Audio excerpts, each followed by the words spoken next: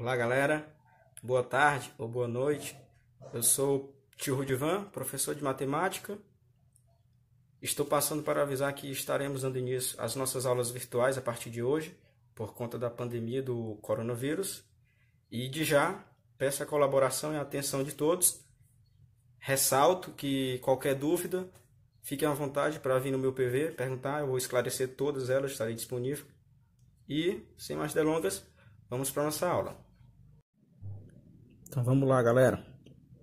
O tema da nossa aula de hoje, nossa primeira aula virtual, será expressões numéricas. É, já tínhamos da, é, iniciado o conteúdo em sala de aula, só que não concluímos. Então eu farei agora uma, uma breve revisão para que a gente possa resolver esses exemplos. Vamos lá. É, as expressões numéricas elas são compostas por, por sinais de associação e por operações, que no caso aqui são as quatro operações. É, os sinais de associação são eles parênteses, colchetes e chaves, certo? Ao resolver uma expressão numérica que contém os três sinais de associação, primeiro de tudo, antes de tudo, a gente vai obedecer a regra que é a ordem dos sinais de associação, certo? Primeiro, primeiramente, antes de tudo, numa expressão numérica, eu vou resolver quem estiver dentro do, dos, dos parênteses, certo? Primeiro eu elimino quem estiver dentro dos parênteses. Depois eu elimino quem estiver dentro dos colchetes. E por último, eu resolvo o que está dentro das chaves certo? É, e depois eu obedeço a ordem de resolução das operações, né? Que primeiro eu resolvo a multiplicação e divisão e depois que eu resolvo adição e subtração. Beleza? Vamos praticar. Na página 65 do livro de vocês, na questão 94, letra B, tem a seguinte expressão. A gente vai resolver ela. Eu, eu havia passado essa atividade para casa. E eu vou resolver aqui com vocês algumas delas, tá? Não todas, só algumas delas. E o restante vocês resolvem. Tentem resolver sozinho.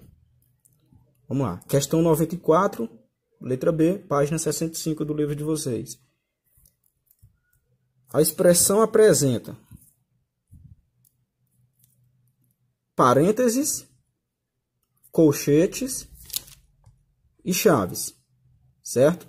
Então, ela, ela, essa expressão tem os três sinais de associação e também tem as quatro operações. Perdão, tem três operações. Tem adição, tem multiplicação. Na verdade, só duas, né? Adição e multiplicação. Então, eu tenho os três sinais de associação e tenho duas operações. Vamos lá. Primeiramente, antes de tudo, eu vou resolver o que tiver dentro do dos parênteses, certo? Observando a expressão, eu tenho um parêntese aqui e dentro desse parêntese eu tenho, eu tenho a adição de parcelas, 4 mais 6, certo? Então, significa que eu vou repetir tudo que está fora do parêntese e vou resolver somente o que está especificado aqui dentro do parêntese, que é 4 mais 6. Vou repetir tudo até aqui e o que está fora do parêntese para o final. Vamos lá, 60 mais, abre chave, 40 mais 8 vezes. Abre colchete, repete o 25 e o sinal de mais. Cheguei no parêntese, eu vou resolver o que está dentro do parêntese. 4 mais 6 é 10. Ok. Agora, fecha o colchete, repete o sinal de vezes, repete o 3 fecha a chave mais 8. Certo? Então, os parênteses já foram eliminados. Seguindo a ordem dos sinais de associação, agora vamos eliminar os, os colchetes. Certo? O que está dentro dos colchetes? 25 mais 10. Então, eu vou repetir tudo que está fora e vou resolver só essa operação. 25 mais 10. Repete o 60 mais abre chave 40 mais 8 vezes 25 mais 10. Quanto é 25 mais 10? 35. Repete o sinal de vezes que está fora. O 3. Fecha a chave. Mais 8. Sinal de igualdade. Foram eliminados os parênteses e os colchetes. Agora eu só tenho uma, uma chave, certo? Só que dentro dessa chave, eu tenho uma adição, eu tenho duas multiplicações, certo? Tenho uma adição e tenho duas multiplicações. Vou repetir o que está fora. 60 mais abre chave. Entre adição e multiplicação, eu vou resolver primeiro. Ó, quem vem primeiro? Multiplicação, tá? Então, repete o 40 e resolve 8 vezes 35. Quanto é 8 vezes 35? 8 vezes 30 é 240. 8 vezes 5, 40. 240 mais 40, 280. Vezes 3, repete esse 3 aqui que eu não usei ele. Fecha a chave, mais 8. Sinal de igualdade. Agora eu tenho três números, três termos dentro do, da minha chave tem uma adição e uma multiplicação. Eu vou resolver primeiro a multiplicação. A adição sempre ficará por último. Repete o 60 que está fora de todos os sinais de associação. Abre chave. Repete o 40 mais 280 vezes 3. 3 vezes 200, 600. 3 vezes 80, 240. Certo? 600 mais 240, 840. Fecha a chave, mais 8. Sinal de igualdade. E agora eu só tenho dois números dentro do, do, da minha chave. E é eles que eu vou resolver. É uma adição de duas parcelas. Repete o 60 que está fora. Se na, Nesse caso, não abre mais, perdão. Nesse caso, não abre mais a chave, porque só tem dois números dentro da chave. E eu vou resolver e vai ficar só um. E automaticamente a chave será eliminada. 40 mais 840 é 880. Certo? Repete o 8 que está lá fora. Sinal de igualdade. Agora não tenho mais parênteses, não tenho mais colchete e nem tenho chave. Eu tenho três parcelas somando, se somando, certo? Quando aparece, do, quando aparece duas somas iguais a essa, eu vou resolver aqui vier primeiro, certo? Os dois que vier primeiro. 60 mais 880 vai dar 940. Repete o 8 que está lá fora, sinal de igualdade. E por fim, eu só tenho duas parcelas, 940 mais 8, que é igual a 948. Beleza? Esse é o resultado da minha expressão numérica. Percebam que o 60 e o 8 estava fora de todos os sinais de associação, certo? Automaticamente eu vou repetir eles até fim, até que se eliminem todos os sinais de associação. Assim eu fiz com 60 e assim eu fiz com o 8. Ok? Próxima questão. É a questão 96. Que está na página 66 do livro de vocês. Letra E.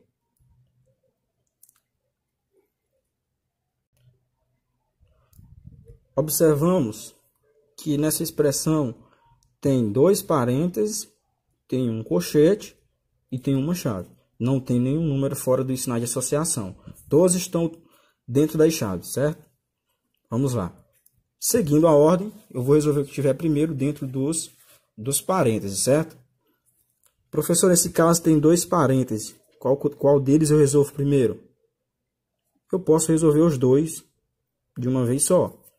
Posso resolver esse, que é uma subtração, e posso resolver esse que é uma multiplicação. ok? E tudo que estiver fora dos parênteses, eu vou apenas repetir. Então, abre chave, abre colchete, 40 menos 30, sobra 10. Repete o sinal de divisão, repete o 2, sinal de adição. E cheguei no outro parênteses, que tem a multiplicação de 8 vezes 5, que é 40.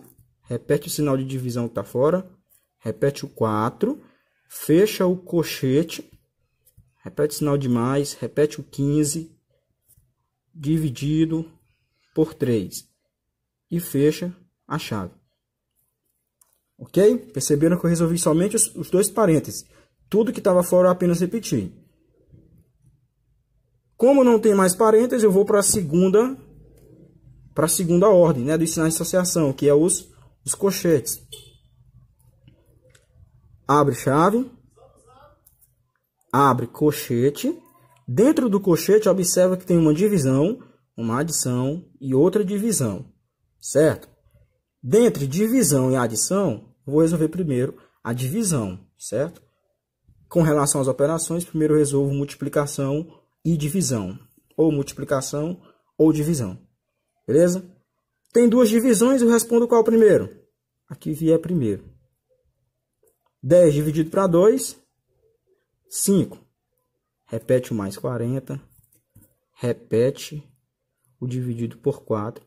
Fecha colchete. Mais 15 dividido por 3. E fecha a chave. Novamente, vou resolver estar dentro do, do colchete. Tem uma adição e tem uma divisão. Eu vou resolver primeiro a divisão. Abre chave. Abre colchete. Por que, que eu estou abrindo o colchete? Porque tem três números dentro do colchete. Então ainda vai existir o colchete, certo? Quando tiver só dois números dentro do colchete, dentro de um sinal de associação, ele, autom ele automaticamente será eliminado ao efetuar a operação. Repete o 5. Repete o sinal de mais. 40 dividido por, por 4 é 10. Fecha colchete mais 15 dividido por 3 e fecha a chave. Certo? Tenho chave e tenho colchete. Primeiro, resolvo quem tá, primeiro resolvo quem está dentro do colchete. Tem, tem só dois números dentro do colchete, eles estão se somando, é uma adição de parcelas. Abre chave. 5 mais 10 é 15 Ó, automaticamente o colchete foi eliminado porque só tem dois números dentro dele.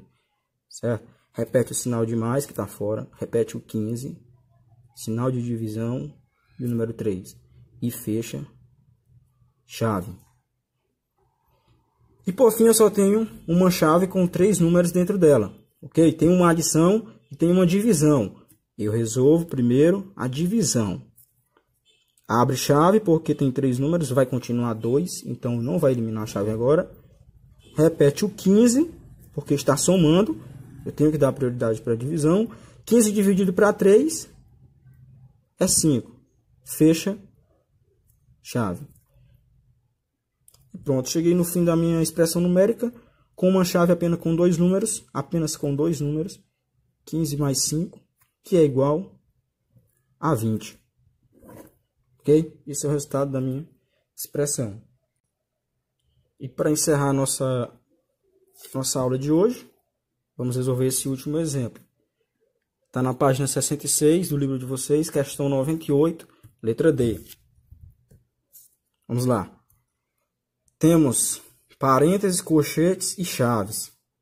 Certo? Primeiro eu vou resolver o que está dentro do parênteses.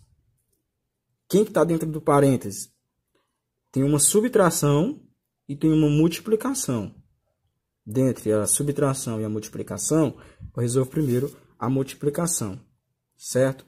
Então, o 27 está fora de todos os, os, sinais de associação e o 13 também está fora de todos os sinais de associação.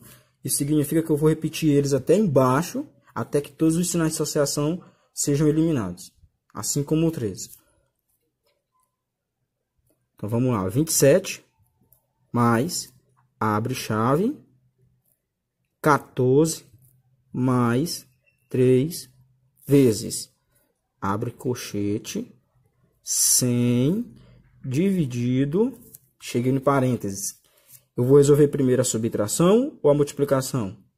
A multiplicação, certo? Então, vou repetir o 18, abre parênteses, vai continuar com parênteses porque tem três números dentro dele. Então, repete o 18, o sinal de menos, e multiplica 4 vezes 2, que é, que é 8. Ok? Fecha parênteses, repete o 7, fecha colchete, fecha chave, dividido por 13.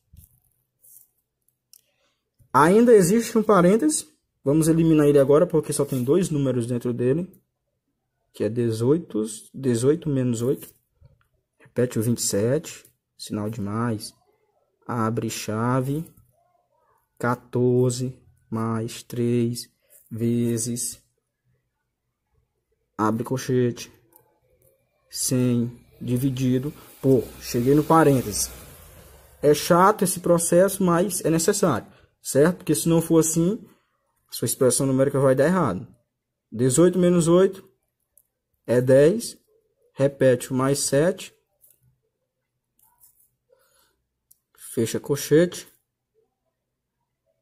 Fecha chave. Dividido por 13. Ok. Se na, é, parênteses foram eliminados, foram eliminados, certo? Agora vamos eliminar o colchete. Dentro do colchete tem uma divisão e tem uma adição. Primeiro eu resolvo a divisão, certo? A prioridade é da divisão.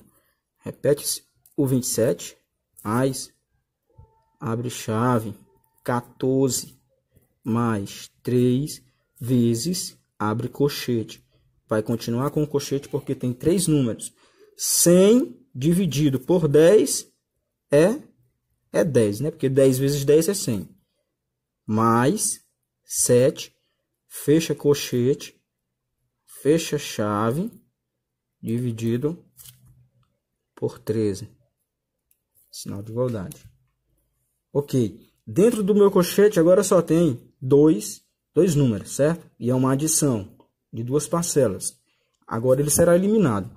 Repetindo tudo novamente, 27 mais, abre chave, 14 mais 3 vezes 10 mais 7, 17. Pronto, o colchete foi eliminado. Fecha a chave.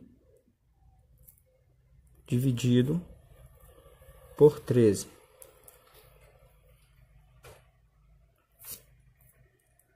Agora, eu só tenho uma, um sinal de associação, que é a chave. E dentro dessa chave tem uma adição e uma multiplicação. Eu vou dar prioridade para multiplicação, sempre multiplicação. Repete o 27, sinal de mais. Abre chave. Repete o 14, mais 3 vezes 17, 51. Fecha a chave. Dividido por 13. Ok? Agora dentro da chave só tem dois números e eu vou eliminar agora. 27 mais 14 mais 51 vai dar 65, certo? 10 mais 51, 61. Mais 4, 65. Cada um soma do jeito que achar melhor, tá? Dividido por 13.